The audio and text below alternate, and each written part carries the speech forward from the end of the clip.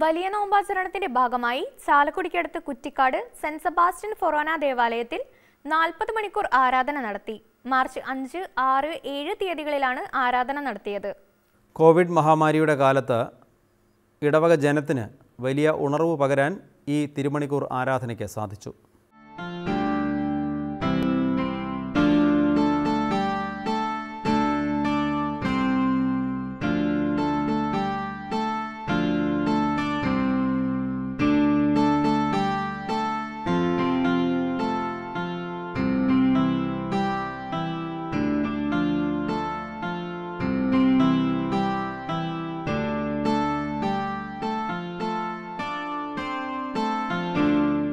ഇടവകയിലെ മുപ്പത്തിയേഴ് കുടുംബ യൂണിറ്റുകളുടെയും നേതൃത്വത്തിൽ പള്ളിയും പരിസരവും പ്രത്യേകമായി അലങ്കരിച്ചാണ് ആരാധനയ്ക്കായി ഒരുക്കിയത്. എല്ലാവർക്കും കോവിഡ് പ്രോട്ടോകോൾ പാലിച്ച് സാമൂഹ്യ അകലം പാലിച്ചുകൊണ്ട് ആരാധനയിൽ പങ്കെടുക്കാനുള്ള അവസരവും ഒരുക്കിയിരുന്നു.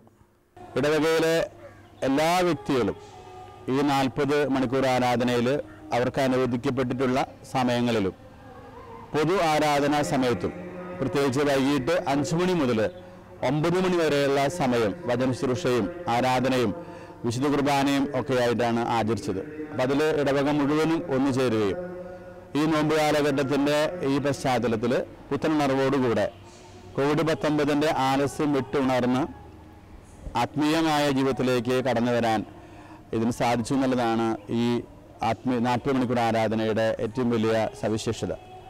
ഇതിന്റെ ഒരുക്കത്തെക്കുറിച്ച് പറയുമ്പോൾ ഇടവകയിലെ മുപ്പത്തിയേഴ് കുടുംബ സമ്മേളനങ്ങളുടെയും പങ്കാളിത്തത്തോടുകൂടെയാണ് ഇവിടെ ഞങ്ങളത് ചെയ്തത്. പ്രത്യേകിച്ച് ഈശോയെ എഴുന്നള്ളിക്കുന്ന വീതികൾ.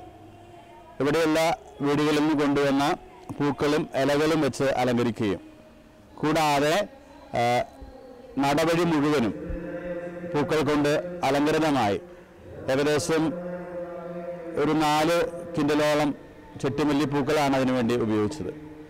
ഇതൊക്കെ ചെയ്തത് ഇവിടെയുള്ള യുവജനങ്ങളുടെ നേതൃത്വത്തിലും കുടുംബസമ്മേളന കൻസ് നേതൃത്വത്തിലാണ് കൂടാതെ കുടുംബസമ്മേളന തലത്തിൽ സംഘടിപ്പിക്കപ്പെട്ട പിണ്ടി മത്സരം മുപ്പത്തേഴ് കുടുംബ യൂണിറ്റുകളും ഈ രണ്ട് പിണ്ടി വീതം ഈശോയിൽ നിൽക്കുന്ന വീതിയുടെ ഇരുവശങ്ങളിലും അവർ സ്ഥാപിക്കുകയുണ്ടായി.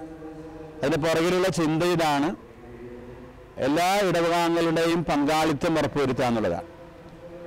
തങ്ങളുടെ അധ്വാനത്തിന്റെ ഒരു വിഹിതം അവരതിനുവേണ്ടി ചെലവഴിച്ചപ്പോൾ ഈ ഈശോയുടെ ഈ നാൽപ്പത് ആരാധന അവരുടെ കൂടെ വലിയ ഒരു അനുഭവമായിട്ട് മാറാനായിട്ട് പറ്റി.